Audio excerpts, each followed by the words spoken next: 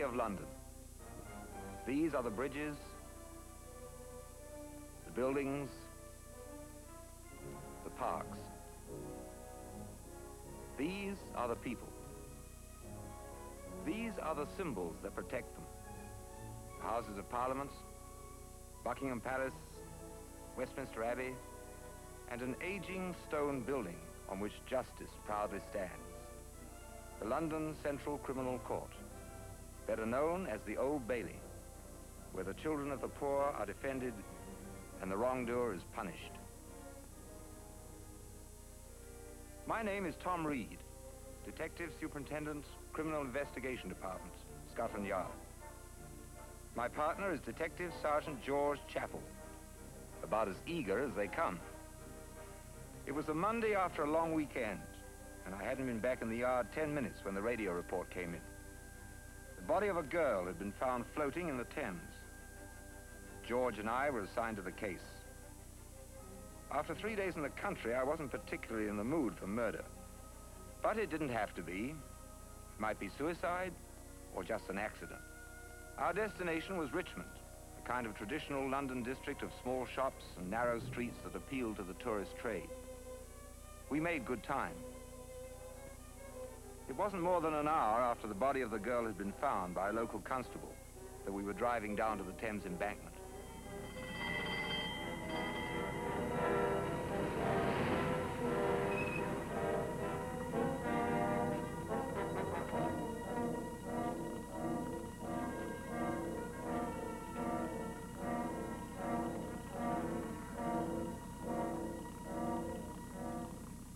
Examination by the police surgeon established that the girl had been dead for several hours. Although there were no visible signs of violence, all labels and identifying marks had been removed from the girl's clothing before she was found.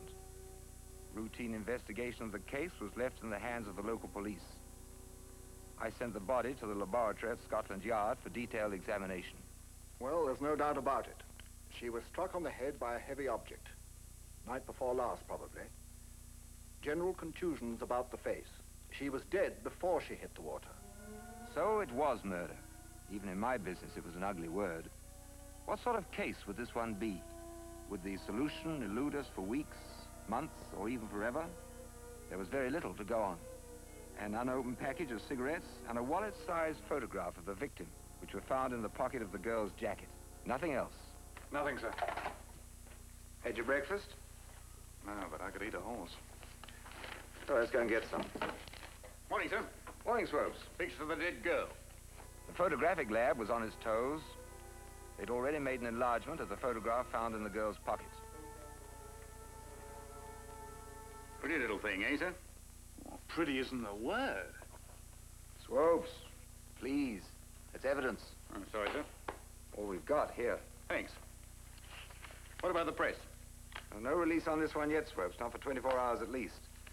If we don't come up with anything by then... Right, sir. Oh, coming? Yes.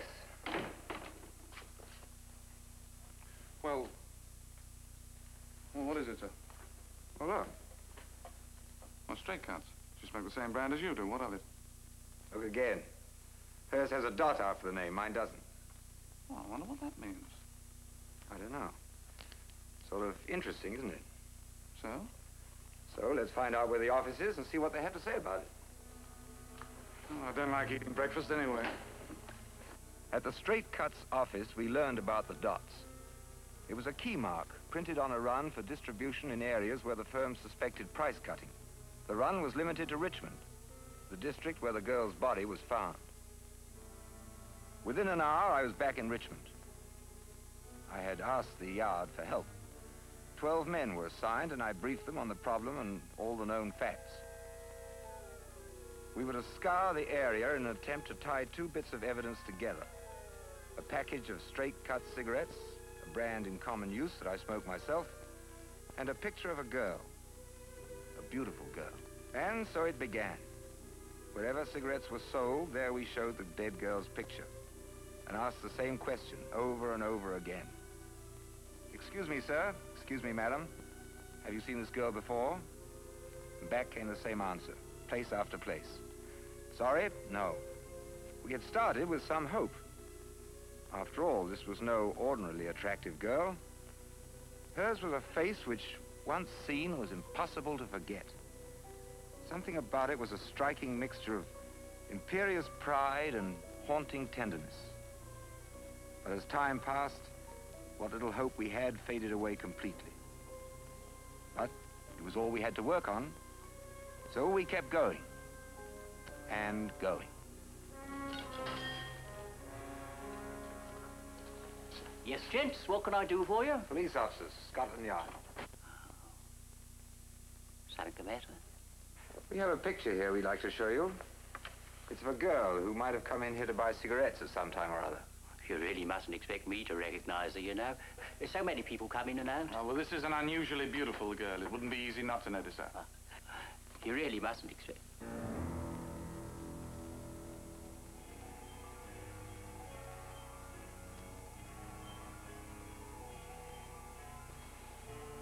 You know her? Yeah, it's Pat Simmons. Leo sees her from time to time. Who's Leo? My son. He works over at Henry's, just down the street. Thanks. Would you mind coming along with us, sir? We'd like to talk to Leo. What about? What's happened to Pat? She's been murdered.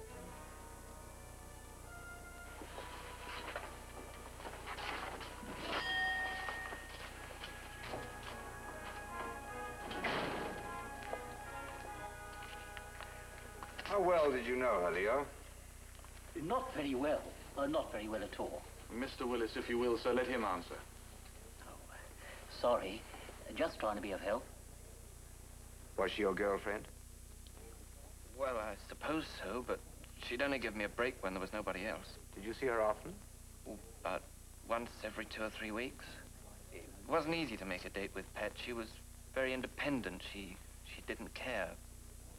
In fact, sometimes I think she she didn't care about anybody or anything. When did you see her last? Oh, about a week ago. I forget when exactly. Do you work here at nights, too? Oh, yes, sir, Leo. Yes, sir. Yes. Well, we're sorry to have bothered you. Oh, uh, incidentally, do you know where Miss Pat Simmons lived? Oh, yes, sir. Just over the road, Farrington Court. She used to live with a friend, Jenny Elston.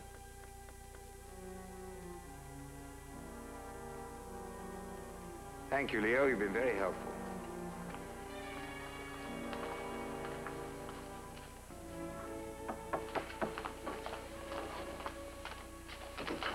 Yes? Miss Jenny Elston? Yes. We're police officers. We're uh, sorry to bother you, but may we come in? Yes, please do. What is it? Is there something wrong?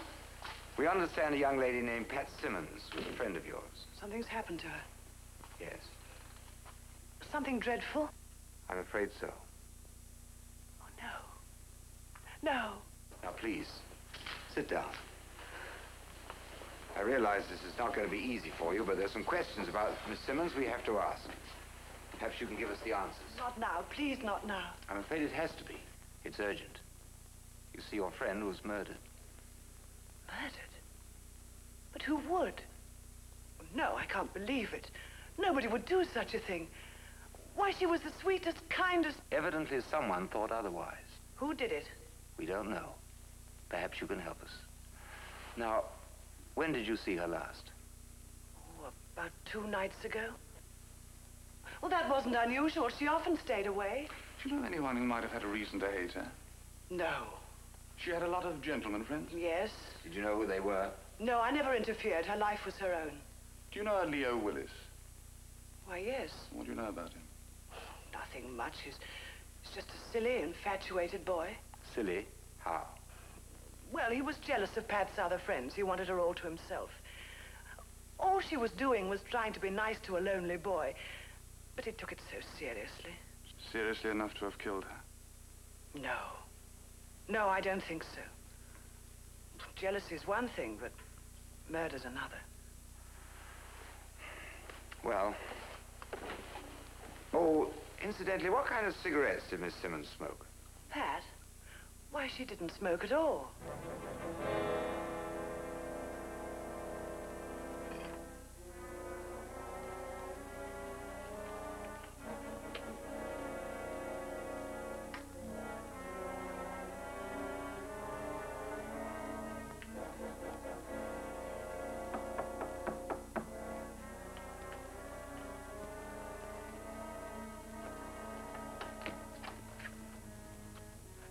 Hello, Mr. Willis.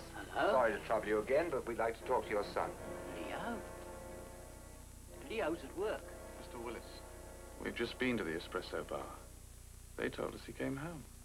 Like he did two nights ago, complaining of a headache. Oh, no chance. The night before last, Leo was at work. He wasn't here. Your son lied to you, Mr. Willis, just like he did at work when he told them he was coming home. Well, maybe he had a reason. What of it?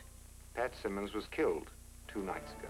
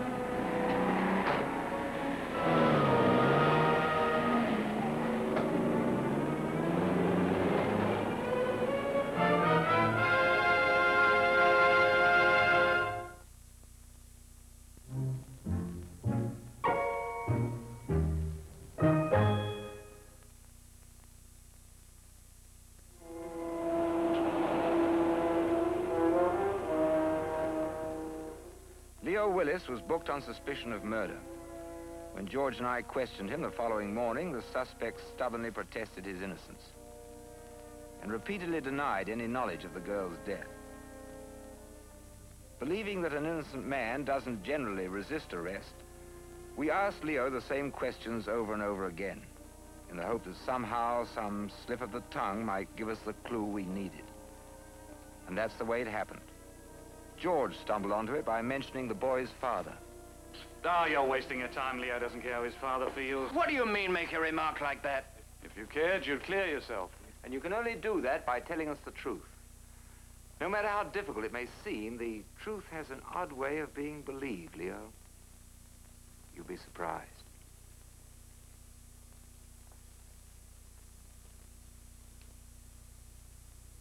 All right. Go on, Leo. I hated Pat. I guess just because I was crazy about her and she kept standing me up in that selfish way of hers time after time. Three nights ago, I was to have had a date with her. I, I got out of work, you know how, and I went over to her place. She was just leaving with somebody else. She said she'd explain later, and then she and this chap got in a car and drove off. Go on, Leo. Well, I just went walking, killing time until she got back. But the more I walked, the angrier I got. Do you know whom she went out with? Well, she wouldn't tell me his name, but I saw him. What did he look like? Oh, elderly chap. Rich, you could tell that right off. He had a large car. It shouldn't be hard to find out who he is. How? I wanted to know his name, too. I wanted to face him one day and tell him to keep his hands off my girl. So I took a good look at his license number. What was it? YAA double three seven. Did you see her later? Yes, I waited outside her place. He came up, dropped her off, and then went on. She seemed surprised to find me waiting for her. She seemed terribly upset, angry even. She wanted to get rid of me, but I wouldn't budge. she knew the only way she could get rid of me was to go out with me for a bit. She didn't want to, but, well, she, she had to. Where did you take her, Leo? I, I took her to a... Leo, the truth. To the old deer park, Leo? Go on, Leo. Yes. What happened there? I, wanted somewhere where we could walk and talk, but the more I talked, the more she got angry. I was wasting her time, she said. There was something more important she had to do. She didn't say what. I got very angry and I, I hit her with my fist. I hit her twice here. I didn't mean to do it. I, I, I wasn't myself. She, she fell and then I came to my senses. Got up, half dazed, but instead of going to help her, I... I turned and ran. But I didn't kill her. I didn't.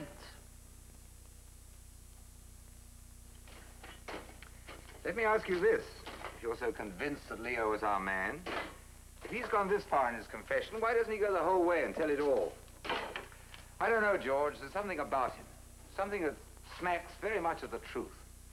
Confused, frightened, but the truth. You're going to burn a hole in that thing. Not that I blame you. What kind of a girl was she?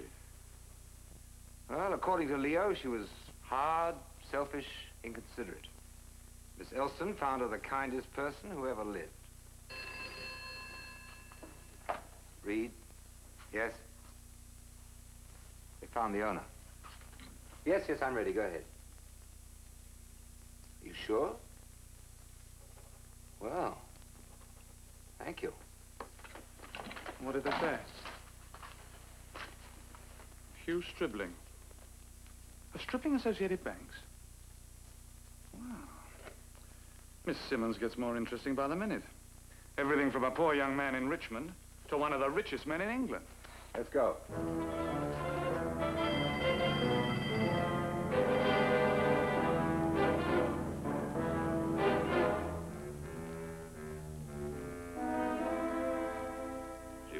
Something more than fascinating. At the start, I thought her magical and unreal.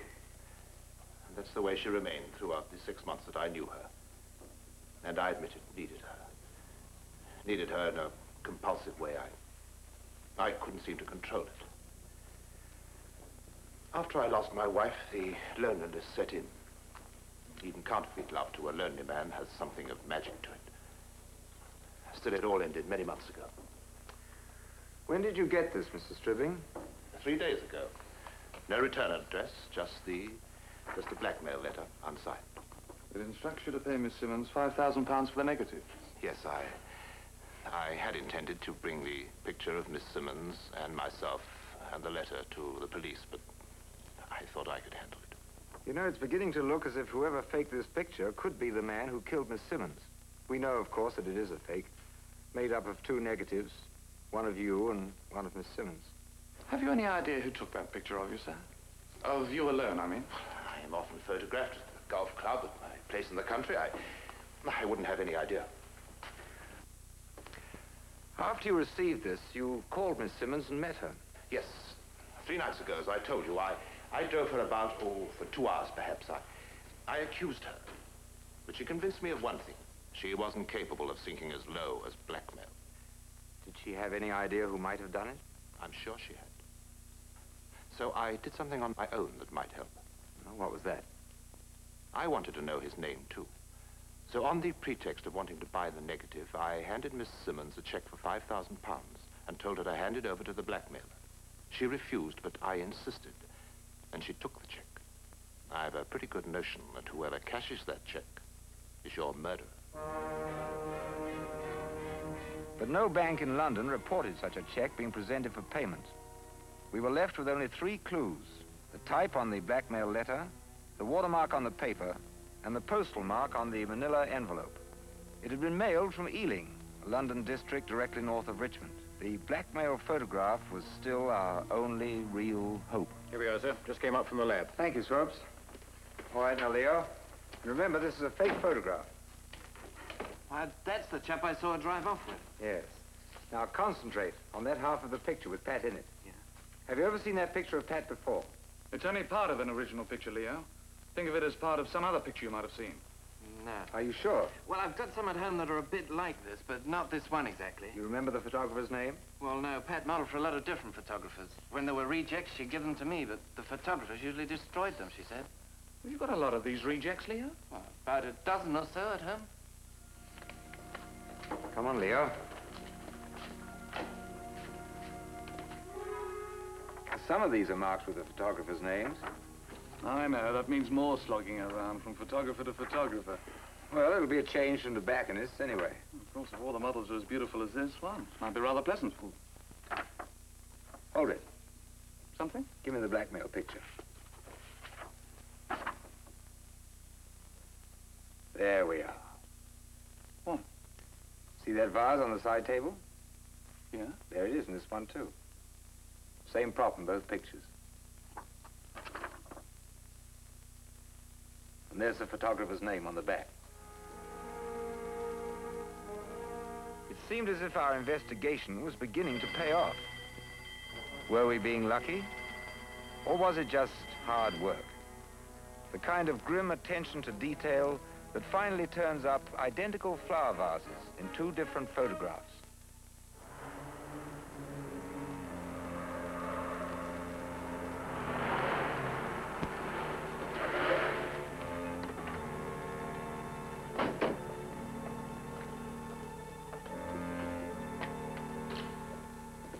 Ah, good afternoon, gentlemen. We'd like to speak to the owner, please. Yes, and what's it in connection with? We'll tell that to Mr. Layton, if you don't mind. Mr. Layton. Oh, I see. No, that's just a firm name we carried over from the previous owners. There's no Mr. Layton now. Oh, who is the new owner? The new owner? It's Miss Elston.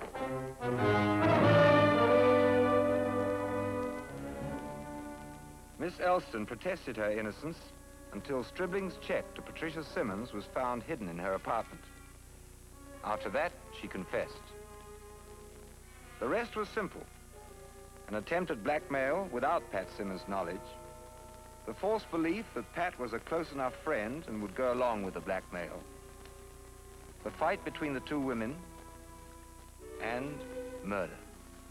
Justice was served. Justice in the Old Bailey, where the people are protected, where the children of the poor are defended and the wrongdoer is punished.